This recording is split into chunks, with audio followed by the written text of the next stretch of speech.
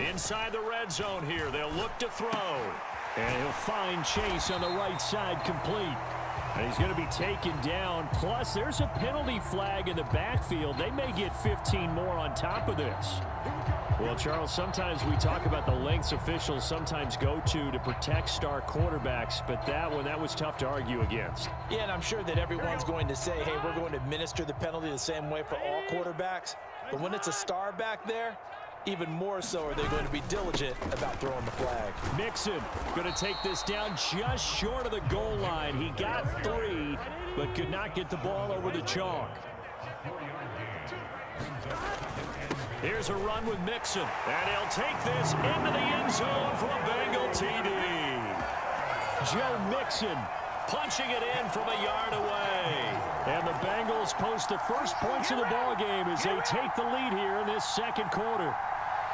That almost looked too easy, and I think thanks goes to the offensive line for making it look easy. Yeah, I agree with you totally on that one. I'm not sure how much everyone understands the preparations that go into a game for an offensive line because there's a reason that running backs and quarterbacks give them big gifts at the end of the season after a big year. The consistency and the continuity it takes to know each other and execute their blocks is pretty impressive.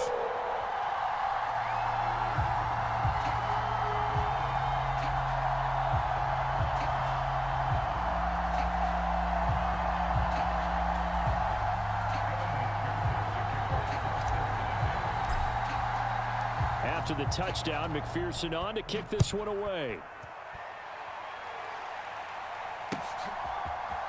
This will be brought out from the middle of the end zone. And ultimately cannot get this out to the 25-yard line as he's dropped at the 23.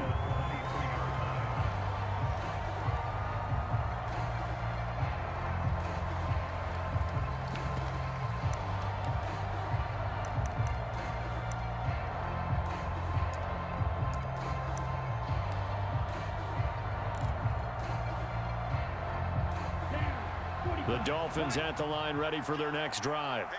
They threw an interception the first time they had the football, wound up leading to a touchdown the other way. How do you approach drive number two? Going back to your game plan coming in, everyone has matchups that they like better than others, where they think they have an advantage. Dial up some of those plays. Try and go to those spots and get your offense moving. 13 yards remaining on second down.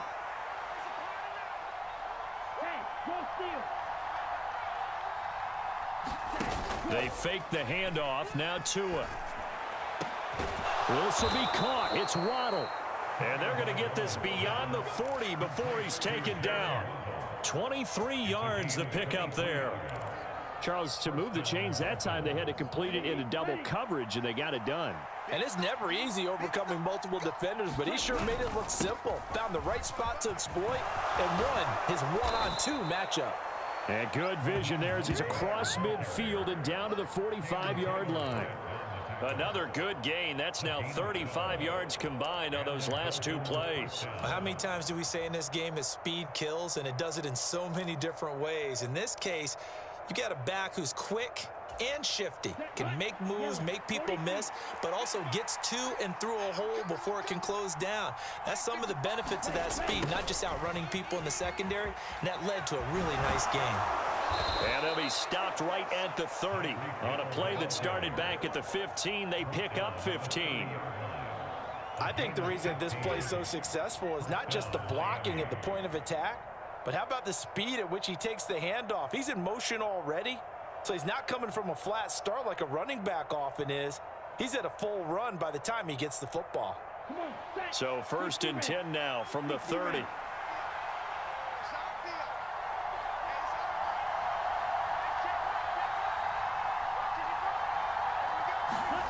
Here's Tagovailoa to throw. Oh, he was hit as he threw it there, and that one winds up incomplete. So it looks like they still have some fight in them on this series because it seemed like things were headed for the red zone. But if this defense gets two more stops, they can keep them out of that area.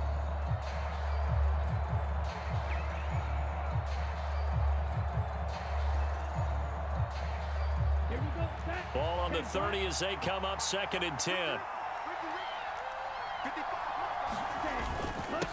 The middle they go with Mostert. And he stopped right at the 25 after a gain of five. Five yards. Now it's third and five. Two minutes on the clock, second quarter, 7-0 ball game. Play number seven now coming up on the drive. Third and five.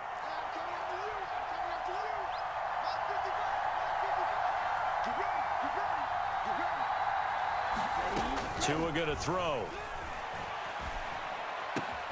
He is going to find Hill here. Touchdown, Dolphins. Tyreek Hill on the touchdown pass from Tua. And the Dolphins are an extra point away now from tying this ball game. Jason Sanders now for the extra point. It's up and good, and we're tied at seven here in quarter number two.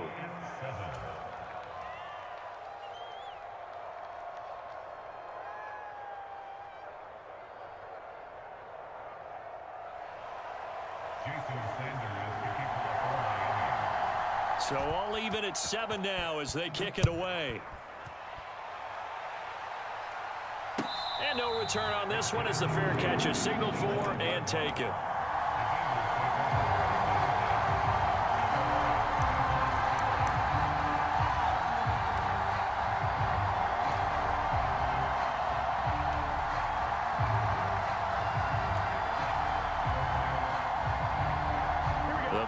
Drive about to get going.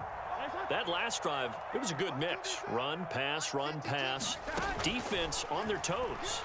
And what really helps out in a big way is when you're doing the run-pass mix and everything's working, that means that they're guessing wrong every time on defense. They think you're going to pass when you run and vice versa. I would continue that, and when they finally draw a beat on you, maybe you mix it up a little bit, a little play action and throw the ball. And will they maintain that balance? Time to find out. Meanwhile, Burrow's throw taken in here by Chase. He's at the 40, 20, and all the way in for a Cincinnati score. Ja'Marr Chase, excellent work there to get in on the touchdown run. And the Bengals have moved out in front. Well, that's a heck of a response to regain the lead after we had seen the touchdown to tie the game. I would say what we just saw there was a great amount of poise because typically when teams tie the game up, it's a little bit of a, how would you say, you kind of kind of take a step back and have to get yourself regrouped. They regrouped in a hurry, didn't they? They attacked back after they'd been tied. And in a big way, that was a statement-long touchdown.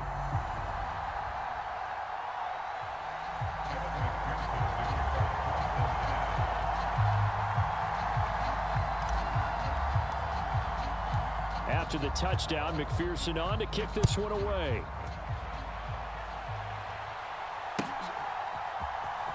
He will return this from deep in the end zone. And only able to get this to the 19, so probably should have opted for the touchback.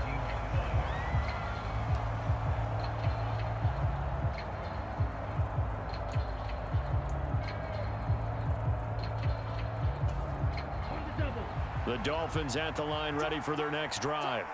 And Charles, we'll see what they can do here. Not a ton of time left, but enough certainly to get points. He rifles one that's intercepted. And the Bengals are going to take possession of the football. And they'll take possession already in the red zone and in a great spot to add points to the scoreboard. And Brandon, how many times have we seen a defense with a lot of field behind them get even more aggressive, right? They feel like they've got them not pinned down, but in a favorable spot for them, and they took advantage of it there, got a nice interception, and set up their offense in great shape. Toward the back corner of the end zone, but he could not get the feet down. This will wind up incomplete. And to put it mildly, this is a tough spot defensively. They have to come right back out and defend their red zone. But how about that good first step towards forcing them to settle for at least three points? I think they're also thinking bigger right now. Imagine being able to stop them totally and change the momentum.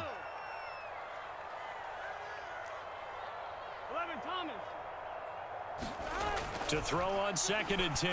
Burrow. Quick slant caught by Chase. And the Bengals are going to be set up with a first and goal on a pass play that moves them all the way down to the one. I think he has to be saying to himself, how did that not wind up a touchdown? Remember, he just did the tip of the ball to cross the plane. It's not going to get there, but they're going to be set up. In and he is in. Touchdown, Bengals. Joe Mixon with his second touchdown here in this first half. And the Bengals will extend their lead in the final minute of the half.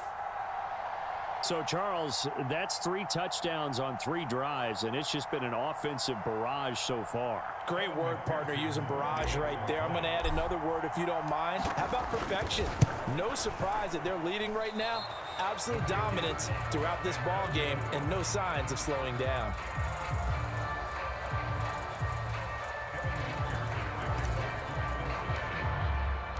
So with the missed PAT in his rearview mirror, he goes back out to kick this one off.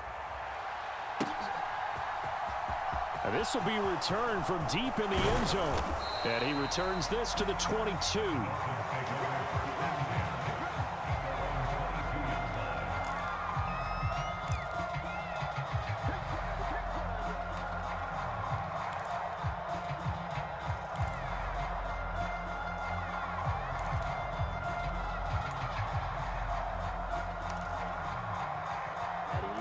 The Dolphins at the line ready for their next drive. And with him down two scores, you wonder if they might try and put something together, even if it's just to get into field goal range. And he'll get this into the hands of Hill, complete. Now the Dolphins going to burn the first of their timeouts as they'll stop it with 25 seconds to go here in half number one. Certainly no settling into the drive there. They came right out on the first play and attacked the middle of the field for a big gainer and a first down. On first down, Tonga Tagovailoa. And the coverage terrific there as that's knocked down and incomplete. Well, he's smart enough to avoid the taunting rule, but I'll guarantee he quietly has told them, you might want to stop coming after me downfield because I just broke up another pass and took away a big shot that you were trying to succeed with.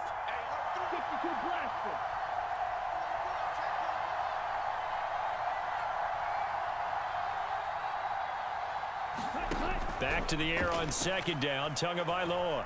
He's going to wind up and air it out. And at the seven-yard line, the catch is made. And he's going to be forced out of bounds inside the five-yard line. A big play there just before halftime. 48 yards. That's a great job of working the sideline right there. I love how he tracked the football the whole way. Just reached up and pulled it in. Had excellent field presence to understand where he was in order to make that play happen. Oh, and Tua going to be intercepted for the third time. Picked off by Vonn Bell. And the Bengals are going to take possession here at their own three-yard line. Charles, not only is that an interception, it's one when you were really knocking on the door for a touchdown inside the red zone. You're actually thinking points. No matter what, at worst, you're thinking kicking a field goal and getting three. We might look back on this in the second half and say, you remember when they didn't get points on that drive? This could cost them. The Cincy offense about ready to go here on their next drive. And with eight seconds on the clock, really not a lot of time to try to put anything together. First down, here's Burrow. And this is incomplete with a clock showing just three seconds left. I think he's got to be careful not to force anything into coverage right there. There weren't really any throwing lanes, but the best part for him, he's got second and third down to fall back on.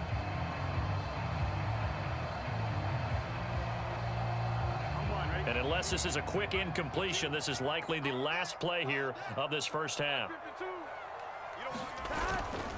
On second down, here's Mixon. And he's going to be taken down here as that will lead us to the end of the first half of play. Time for a break. This is the NFL on EA Sports.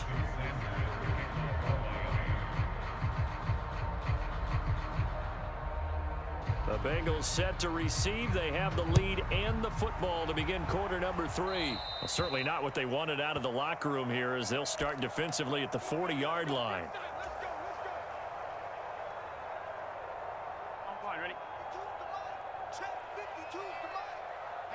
Let's go. Pick it up, D. the mic right here. Over there, right? Middle. And he's going to bowl his way forward to the 48. So they'll come up after the gain of seven on a second and three. Again, it's Mixon. And this time not as successful as he'll get back to the line of scrimmage and no more. Call it no gain that time as it's going to leave him with a third and about three to go. As usual, the hallmark of a good run defense, linebackers making plays near the line of scrimmage. Absolutely nowhere to run there. They go play action with Burrow. Got a man. It's Chase. He completes it. And all the way in for a Cincinnati score. Ja'Marr Chase, his second touchdown of the afternoon. And the Bengals come right out of the locker room and score here in the opening minute of the third quarter. So on third and medium, they dial up the pass, and it works to hit the end zone. And it's really not a surprise to me. That's a throwing down in the NFL because of how tough it is to run the football. But what offenses like to do is still show run formations to make them respect it and throw out of those. In this case, they took a nice shot at the end zone and made it pay off.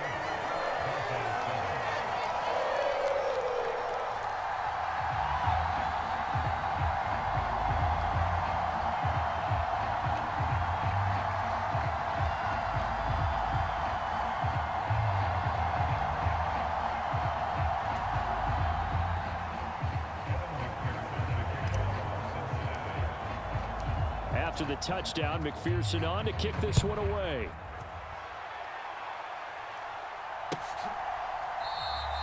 And he'll just take a seat, and the drive will begin at the 25-yard line.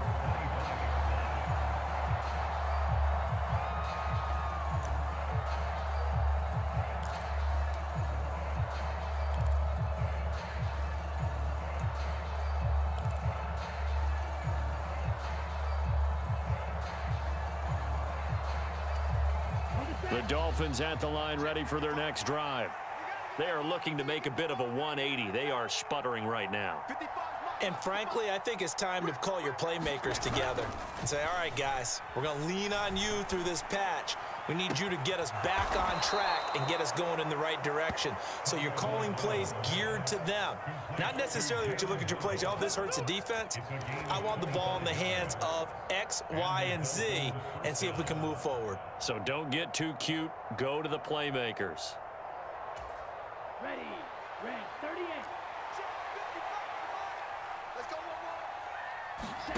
From midfield, here's Tua. Open man is Hill. He's got it. And he takes this one down almost all the way to the 30. It's another first down as this time they get an even 20. It's taken a while for this offense to get going. A little creaky at the start, but they're oiled up now. A nice throw there, and they're really putting together a good drive. Setting to throw on first down is Tua. Nowhere to turn here, and he's going to go down.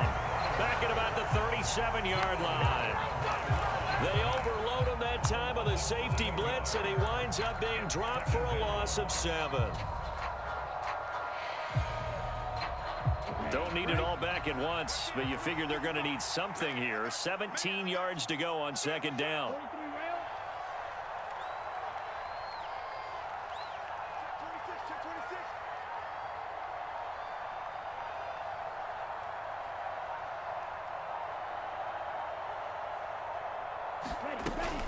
From the gun, a run with Mostert.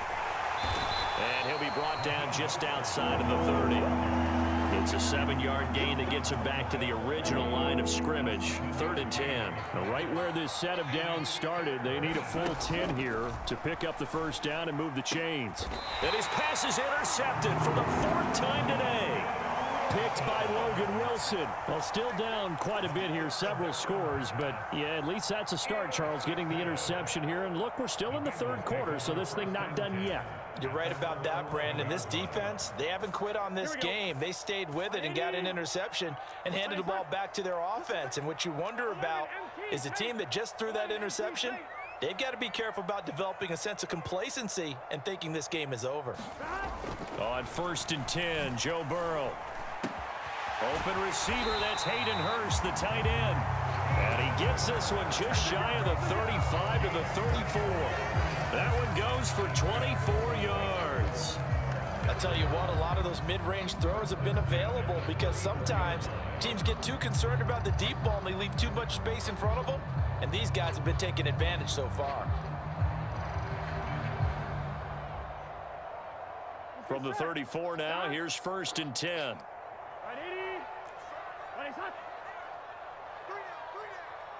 Watch nine, watch nine. Shoot, shoot. 11 mighty, 11 mighty.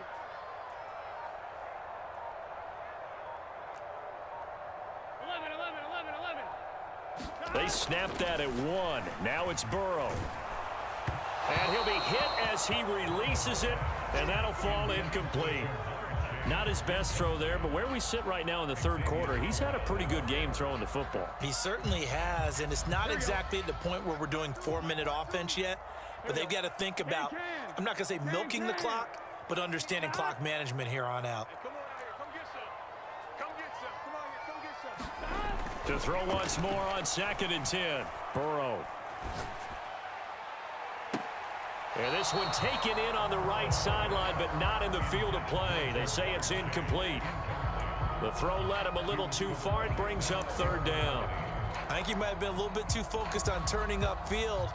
He didn't stay in bounds. He caught the ball, but he wanted to catch it and run, get that rack yardage so badly, he forgot to stay in bounds first. On third down, Burrow. Slant pass to Boyd. And while we may be looking at the scoreboard, this offense certainly is not because they're showing no signs of backing down, even with a three-score lead here in the third quarter. I think they keep taking their shots. They've seen blown leads happen throughout this league. They don't want to fall victim to it themselves. A couple of first downs on the drive already as they'll go from the 47 now on first down. 552, 552. He can't hang. From the gun to give to Mixon. Oh, he's got a little daylight. And he gets this inside the 35-yard line. Another big gainer that time. This one goes for 19 yards.